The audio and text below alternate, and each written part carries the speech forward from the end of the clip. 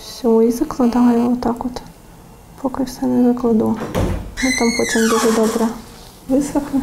Виправляє неточності, ґрунтує та шліфує. І робить це все ювелірними рухами. Так відновлює старовинні ікони Ольга Кулігіна, реставраторка живопису національного заповідника Хортиця. Дівчина каже, над однією іконою може працювати місяцями.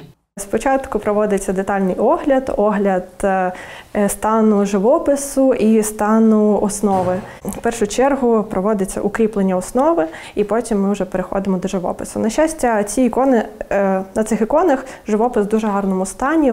Нині в роботі у Ольги чотири ікони. Одну з них планують експонувати у Запорізькому музеї козацтва. Це чотиридільна ікона з зображенням святих е, Іоанна Златоуста, Святої Катерини, Ісуса Христа та Параскеви. Е, Дуже нам пощастило, що є дата 1903 рік.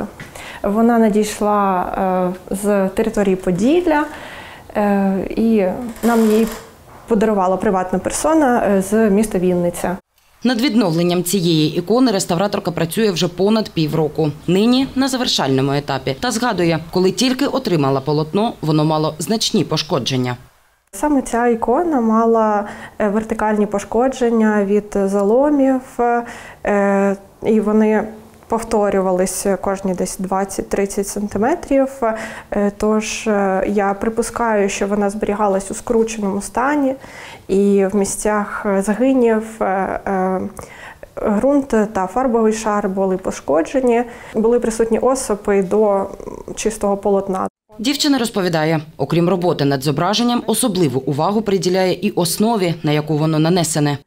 Зазвичай на лиці один-дві дірочки і думають, що не пошкоджена ікона, але отак, якщо подивитись на зворот, усі ці отвори, це е, значить, що дуже-дуже пошкоджена, поїдена деревина шашелем або іншими жуками-деревогризами. Ольга каже, її головна задача максимально доповнити малюнок, але повністю відтворювати його в оригінальній техніці не можна. Я уточнюю малюнок рисочками або крапочками, щоб вони доповнювали малюнок, проте все одно були е, все одно відрізнялись від оригінального живопису. Е, Це робиться для науковців та і для відвідувачів, щоб було видно, де реставраційні вставки і де оригінальний живопис.